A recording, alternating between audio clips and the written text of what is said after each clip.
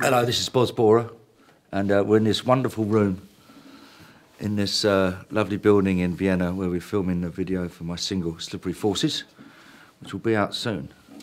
But um, must say it's a great joy to be here. Thanks very much.